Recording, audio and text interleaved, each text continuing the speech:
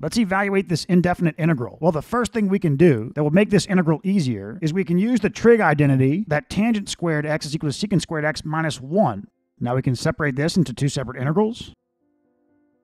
Now this integral will be much easier to do integration by parts than the original integral. So evaluating this integral with integration by parts, we'll say that u is equal to x and dv is equal to secant squared x dx. Therefore du is equal to dx and v is equal to tangent x. So this integral is equal to u times v minus integral of v du. Checking the trig integral tables, we see that the integral of tangent x dx is natural log of the absolute value of secant x.